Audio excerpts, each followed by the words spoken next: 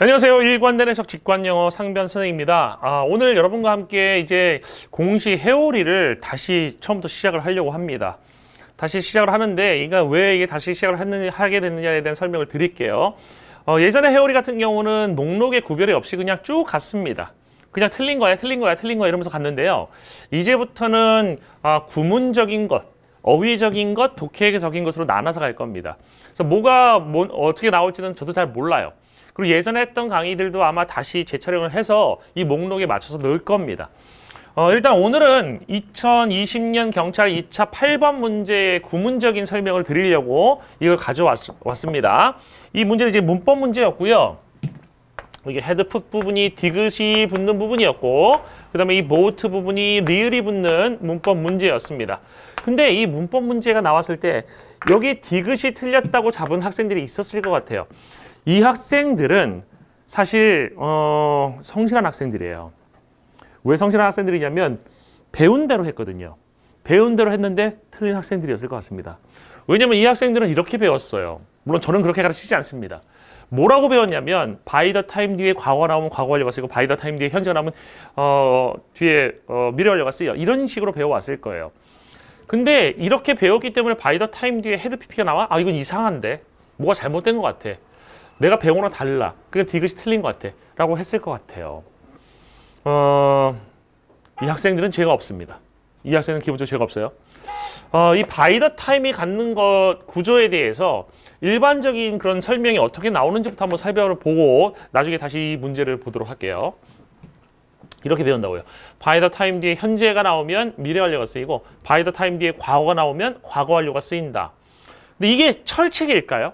이 구조가 철칙일까요? 이렇게 생각해 보세요. 어떤 구, 그 공식이 있는데 이 공식은 70%엔 적용이 되고 30%엔 적용이 안 돼요. 그럼 그 공식이 맞습니까? 70%에만 맞고 30%에 안 돼요.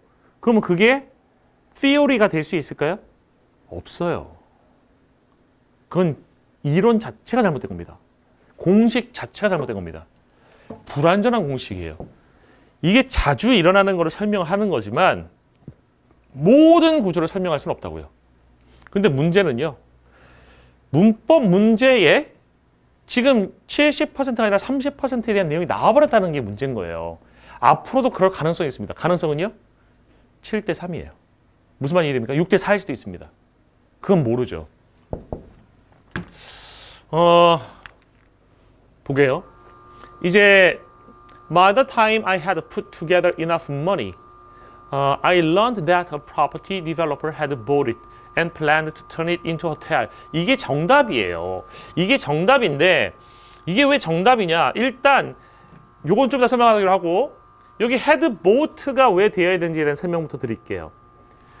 여러분이 알고 계실 수도 있겠지만 had PP라고 하는 것은 무슨 절대적 개념이 아닙니다. 그러니까 되게 오래전의 과거를 had PP로 표현하는 거 잘못된 개념이에요. 지금 순간이 있습니다. now예요. 어, 지금 순간을 기준으로 여기가 마이너스 1분이에요. 1분 전이라는 얘기입니다. 1분 전. 1분 전을 기준으로 또 마이너스 2분이 되는 거죠.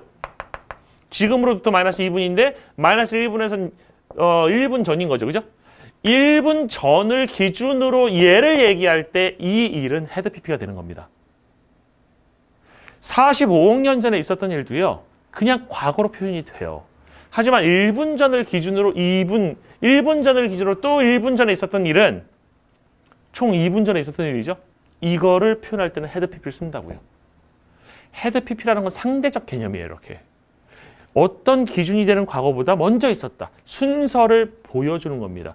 그래서 얘는 순서가 명확한 경우에는 굳이 쓰지 않아도 되기도 합니다. 근데 순서가 명확하지 않은 경우에 어떤 의미의 어떤 혼란이 생길 수 있는 경우에는 반드시 필요한 것이죠.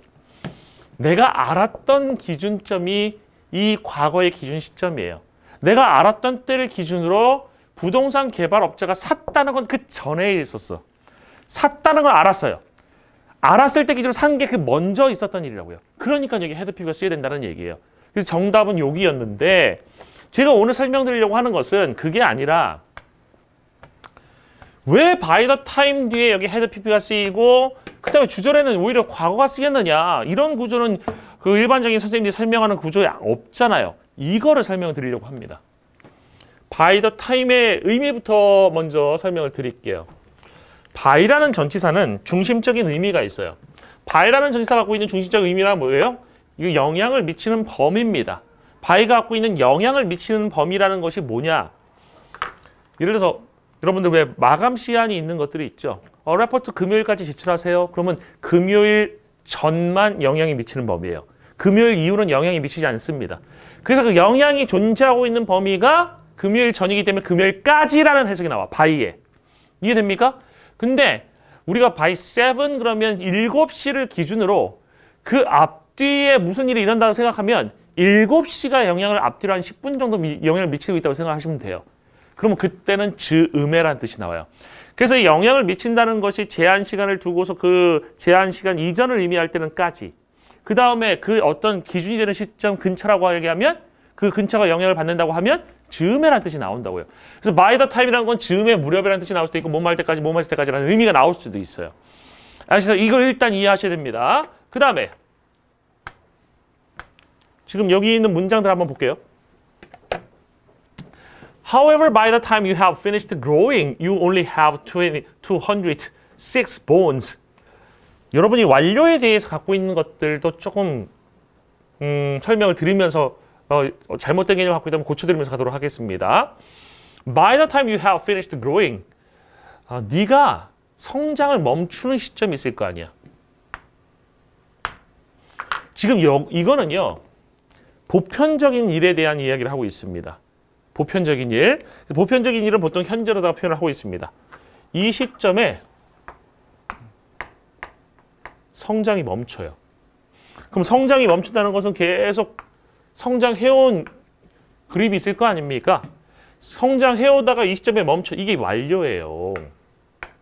이런 거 그림을 완료라고 하잖아요. 그러니까 네가 성장을 해와서 멈추는 시점이 이때야 이 시 점을 기준으로 이 근처에를 의미하는 것이 뭐예요? 바이예요. 이해됐어요? 그러니까 네가 성장을 멈춰. 성장을 해오다가 성장을 멈춰. 이 시점 무렵에 너는 206개의 뼈들을 갖고 있다는 얘기입니다. 이해됩니까? 어? 이 그림만 이해하시면 된다고요. 됐어요? 그래서 이게 가능해요. by the time에 현재 완료가 쓰이고 그 다음에 주절에도 현재가 쓰이는 이 가능합니다. 그 다음에 어, 제가 원래 예문을 찾을 때 이 사전 저 사전을 많이 찾아요. 그래야지 그 풍부한 예문을 찾을 수 있기 때문에. 하지만 이 by the time 관련된 건 너무 많아서 그냥 Cambridge Advanced Learner's Dictionary Cambridge 사전 하나만 가지고 설명을 드리겠습니다. 지금부터. 그 게임은 거의 but over, 거의 be over 끝나다야. 거의 끝났습니다. By the time we arrived, 우리가 도착했던 즈음에. 그냥 우리가 도착했던 즈음이 과거의 기준이 되는 시점이고 그쯤에 끝났다. 끝났다는 사실을 표현하고 있습니다. 문제 있어요, 없어요? 없어요. the time 과거 쓰였지만 주절에 과거 쓰였어요. 아무 문제 없습니다. 아시겠어요? 그 다음에 Most babies can feed themselves by the time they are a year old. 대부분의 아이들은 자신을 먹을 수 있다. 혼자 먹을 걸 먹을 수 있다는 얘기입니다. 그들이 이 한 살쯤 되는 무렵에 그럼 한 살이 되는 쯤 무렵에 먹을 수 있다. 그냥 보편적인 사실 표현하기 때문에 현재 시를 쓴 겁니다. 문제 있어요, 없어요? 없어요. 그 다음에 it was dark by the time we arrived at the station. 우리가 열차역에 도착하던 시점이 있어요. 과거 시점이죠. 그, 그 시점 무렵에 있었던 것도 과거로 표현될 수 있어 없어? 있어요. 우리가 열차역에 도착하던 시점에 어두웠다는 뜻입니다. 문제 있어요 없어? 없어요. 원래 바이더 타임에 과거 쓰면 주절에 과거 완료 쓰인다고요? 헛소리죠. 그 다음에 이제 요걸 잘 보여야 돼. By the time we had climbed to the top of the hill, we were covered in sweat. 캠브리지 사전에 나온 예문인데요. by the time 뒤에 과거 완료가 쓰이고 주절에 현재 나왔어요. 주절에 과거 나왔어요. 시험 문제랑 똑같죠. 시험 문제랑 똑같은 시제 배치죠. 이게 왜 가능한지 보자고요. 어, 보세요. 지금 이 꼭대기 정상에 뭐 하는 게 있어? 정상에 도달한 시점이 있어요. 그럼 정상에 도달하려면 계속해서 뭐 해야 돼? 올라가야 될 거 아니야. 계속해서 올라가야 될 거 아닙니까? 정상에 도달한 시점이 과거 시점이고 그 전부터 시작해서 계속 올라갔어. 이게 had climbed예요. 알겠어요? had pp라는 것이 이런 의미가 된다고요. 과거의 기준 시점보다 이전에 시작해서 이때까지 온 거. 과거 완료죠. 이해됐습니까? 근데 이 정상이 도달했던 시점 무렵에 이 무렵이니까 이걸 뭘로 표현해요? 과거로 표현한 거야. 우리는 땀으로 덮여 있었어. 문제 있어요, 없어요? 없어요. 이 그림하고 맞으면 되는 거지. 아시겠어요? 어, 이제 좀 감이 오십니까? 어. 그러니까 시제라는 것도 제대로 배우면 영어 문장이 이해가 될 수 있다고요. 그 다음에 by the time we get there, Jim will have left. 이건 어떻게 되는 거냐면 우리가 도착하는 시점이 있어. 그 도착하는 시점이 미래야, 미래. 도착하는 시점이 미래고 그 다음에 이 전에 떠나서 짐이 이때는 없을 거야. 이게 미래 완료야. 그래서 by the time에 그 여기 현재형이 쓰였지만 이건 미래의미라는 것이 쓰이면 이게 미래 시점이 기준이 되고 그 전부터 뭐 해왔을 때는 will have pp 형태가 쓰일 수 있다. 그냥 전형적인 그 공식에 맞는 문장인 거죠. 그죠? 어, 이 그림하고 매칭되는 겁니다. 그 다음에 He had lost his hair by the time he was 25.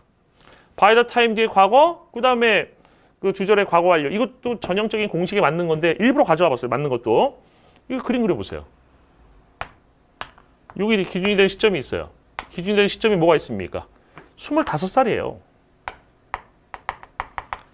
25살이었던 시점, 이 25살이 되던 시점 무렵에 그는 머리카락을 잃어왔는데 이때부터 머리카락을 잃기 시작해가지고 쭉 잃어왔다라는 얘기를 될 로스트로 표현한 거야.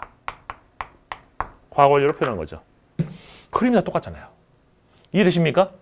응? 요 그림을 갖는 거가 요 그림을 갖는 이 두 개가 그 공식에 선생님들이 말하는 공식에 맞는 그림일 뿐이고 우리가 봤던 거는 뭐뭐 해왔는데 요 무렵에 무슨 일이 있었다라고 했던 것들은 정반대의 그림이 나온 거예요. 이거 좀더 보고요. 이제 다시 그 문장 그 이 문장을 한번 볼게요. But by the time I had put together enough money, I learned that 보세요. 요 시점이 있어. 과거 시점이야. 이 시점이 뭐야? 충분한 돈이 모였어요.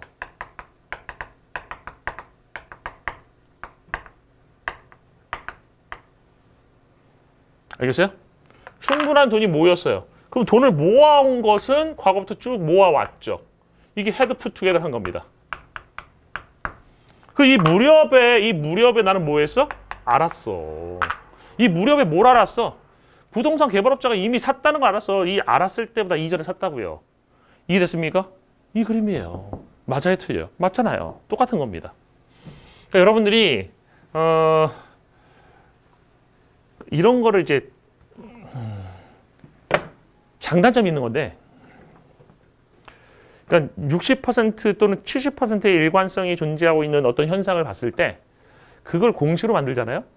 그러면 편하죠. 60, 70%를 이해하는 데 편합니다. 문제는 뭡니까? 3, 40%의 예외가 나왔을 때 이해가 안 된다는 게 문제예요. 그러니까 이게 약간 고식직이랑 비슷한 겁니다. 엄발의 오줌 누기랑 비슷하다고요. 지금 당장은 편하고 좋죠. 나중에 역효과 날 수 있다는 얘기예요. 그래서 저는 사실 이렇게는 안 가르치고요. 저는 어, 이런 경우가 있을 것까지도 미리 예상해서 가르쳐요. 그러니까 아예 이런 얘기 안 합니다. 이런 얘기 안 하면 학생들이 어떻게 접근하겠어요? 그냥 시제를 가지고 그냥 시제만 제대로 가르쳤다고 하면 시제 가지고 이해하려고 노력할 거 아닙니까? 저는 그게 제가 하는 방식이에요. 어, 한 가지 더 걱정돼서 선생님이 설명을 드리고 싶네요. 완료라는 개념을 이어온 거, 그죠? 어, 그 개념을 가지고 이거 하나 더 한번 볼게요. since 뒤에 since가 지금 뭐뭐 이래로란 뜻의 since예요.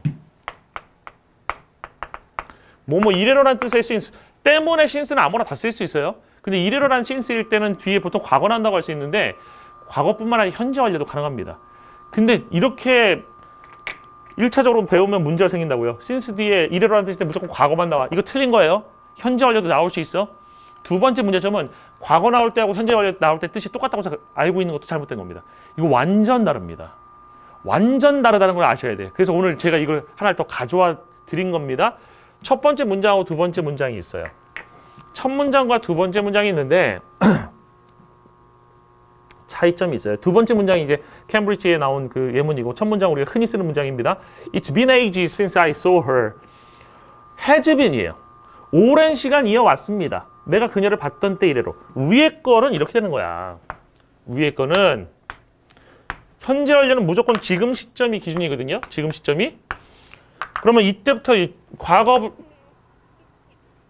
오랜 시간 이어왔다가 이제 has been이에요. 근데 요 시점에 무슨 일이 있었어요? 요 시점에. 응? 내가 saw her 했다는 거야. 그녀를 봤던 과거의 시점이 있는데 그 과거의 시점부터 지금까지가 오랜 시간 이어왔어 라는 것이 요것이 갖는 그림이에요. 그럼 다시 말해서 내가 그녀를 과거에 한번 보고 오랫동안 못 봤다라는 얘기가 이 문장에 의미가 된다는 얘기예요. 오랫동안 못 봤다. 근데 밑에 거는요. 밑에 거는 왜 현재 완료였을까? 똑같을까요? 밑에 건 이런 겁니다. 지금 순간 있고요. 그 다음에 오랜 시간 이어왔어. 이게 has been이에요. 똑같아. 근데 have seen her이라고 그랬잖아. 그녀를 보아왔다는 얘기야. 그럼 여기 왜 현재 완료가 쓰였습니까? 현재 완료 쓰면 과거부터 계속 보아온 거야. 이래서 다시 말해서 이것도 이거예요. 이게 has seen이에요.